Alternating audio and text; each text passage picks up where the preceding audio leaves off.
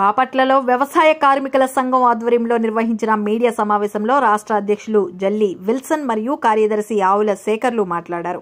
ఆంధ్రప్రదేశ్ వ్యవసాయ కార్మిక సంఘం పేదవాడికి భూమి దక్కించుకునే విధంగా ఐక్య పోరాటాల ద్వారా సాధించుకున్న కోనేరు రంగారావు చేసిన భూ కమిటీ సిఫార్సులు అమలు జరిగితే ప్రతి పేద కుటుంబానికి ఒక హెక్టార్ భూమి ఖచ్చితంగా వస్తుందని నినాదిస్తున్నామన్నారు. ఈ కార్యక్రమంలో సంఘ రాష్ట్ర ఉపాధ్యక్షులు ఆర్ వెంకట్రావు ఏపీ ప్రజా నాట్య మండలి రాష్ట్ర ఆర్గనైజింగ్ సెక్రటరీ ఆర్ రామకృష్ణ ఆహ్వాన సంఘం అధ్యక్షులు జేబీ శ్రీధర్ ఆహ్వాన సంఘం ప్రధాన కార్యదర్శి తన్నీరు సింగరకొండ సంఘ జిల్లా అధ్యక్షులు అద్దంకి నాగేశ్వరరావు తదితరులు పాల్గొన్నారు. రాష్ట్ర మహాసభల సందర్భంగా ఈ రాష్ట్ర వ్యాప్తంగా ఇప్పటికే అన్ని జిల్లాల మహాసభలు పరిపూర్తి చేసుకొని మహాసభలకు సన్నద్ధం కాబోతా ఉన్నాం. ఈ మహాసభలు దాదాపు ఐదు లక్షల సంఘ సభ్యత్వంతో నాలుగు వందల మంది నాలుగు వందల మంది ప్రతినిధులు మొత్తం రాష్ట్ర వ్యాప్తంగా వస్తారు. రెండు రోజుల పాటు ప్రతినిధులు ప్రతినిధుల మహాసభలో అనేక అంశాలపై కూడా మేము చర్చ చర్చించబోతా ఉన్నాం.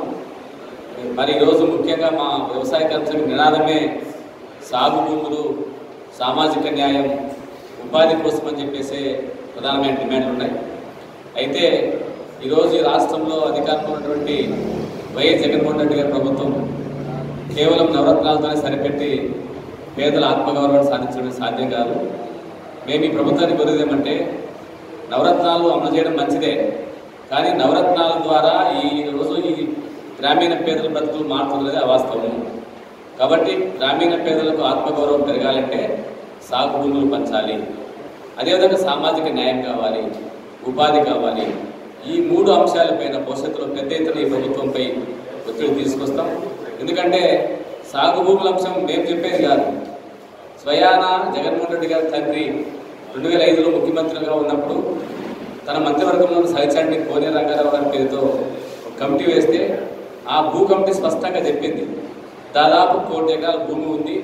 ప్రతి నిరుపేదకి ఒక హెక్టార్ భూమి వచ్చని చెప్పేసి గ్రామీణ ప్రాంతాల్లో ఐదు సెంట్ ఇళ్ళ స్థలం ఇవ్వాలని చెప్పేసి వచ్చని చెప్పేసి చెప్పడం జరిగింది. అయితే ఈ ప్రభుత్వం ముఖ్యంగా జగన్మోహన్ రెడ్డి గారు తన తండ్రి ఆశయాలు నెరవేర్చే దిశగా ముందుకు పోకపోవడం చాలా బాధాకరం. ఇప్పటికైనా మించిపోయేదేం లేదు. తక్షణమే ఎక్కడెక్కడ సాగు భూములు మిగులు భూములు పేదలకు పంచడానికి అనువుగా ఉన్నాయో వాటిని మీరు పంచండి. లేదంటే మేమే స్వయాన భూములు గుర్తించి పేదలు సమీకరించి సాగు భూములు పంచేందుకు సిద్ధమవుతామని చెప్పేసి ఈ మహాసభల వైపుగా తీర్మానించబోతామని చెప్పేసి మేము తెలియజేస్తా ఉన్నాం. ఈ మహాసభల జయప్రదంకి ముఖ్యంగా బాపట్ల పట్టణం ప్రజలు ఉద్యోగులు మేధావులు చాలామంది కూడా సహకరించాలి. అదేవిధంగా రేపు జరగబోయే మహాప్రదర్శన కూదండు దాన్ని కూడా ఇప్పటికీ మేము అన్ని పర్మిషన్ తీసుకుంటా ఉన్నాం. కాబట్టి మహాసభ దిగ్విజయంగా ముగించుకొని తీర్మానాలు చేయబోతున్నాం చెప్పేసి సందర్భంగా తెలియదు.